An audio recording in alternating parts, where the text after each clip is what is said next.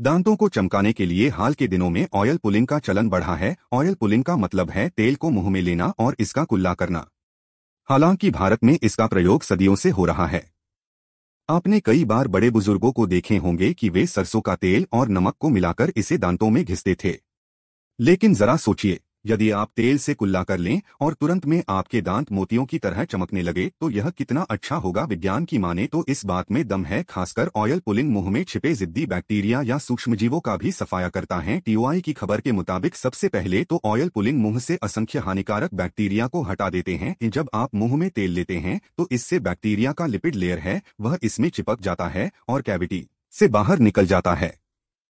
इसी तरह अन्य जो सूक्ष्म जीव हैं, वे भी तेल में चिपक कर मुँह में बाहर निकल जाते हैं, और जब आप इस तेल के साथ थूक को बाहर फेंकते हैं तो ये सारे सूक्ष्म जीव मुँह से निकल जाते हैं। दांतों में छिपे स्ट्रेप्टोकॉकस बैक्टीरिया सबसे खतरनाक होता है, क्योंकि यही दांतों में गंदगी भर देता है, और इसी से दांतों में दाग धब्बे लग जाते हैं।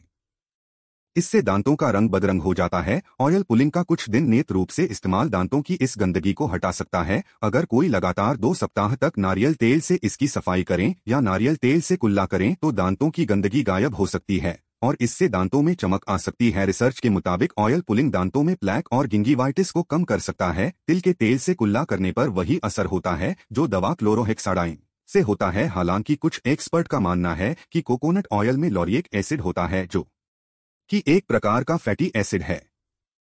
फैटी एसिड एंटीमाइक्रोबियल होता है, जो दांतों से हानिकारक बैक्टीरिया को खत्म करता है, नारियल के तेल के अलावा तिल का तेल और सूरजमुखी के तेल से भी कुल्ला करना फ़ायदेमंद साबित हो सकता है।